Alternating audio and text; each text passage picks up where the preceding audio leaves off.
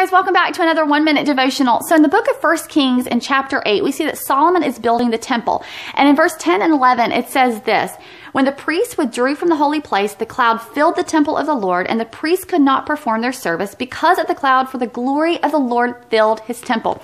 So they're doing all this work, but they can't continue their work on the temple because the presence of the Lord is so strong. It's so thick. Now look, I love a good worship service, and we can have an awesome band. We can have all the lights and the smoke that we want. We can work ourselves up into a good emotional experience.